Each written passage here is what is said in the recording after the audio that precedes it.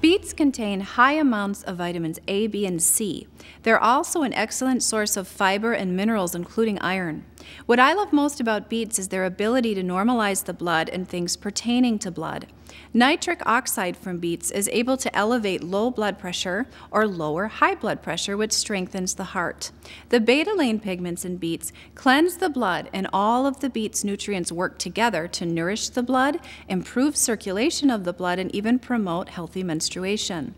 Purchase organic and non GMO beets since they'll have absorbed any toxins in the soil that conventional beets may have been grown in.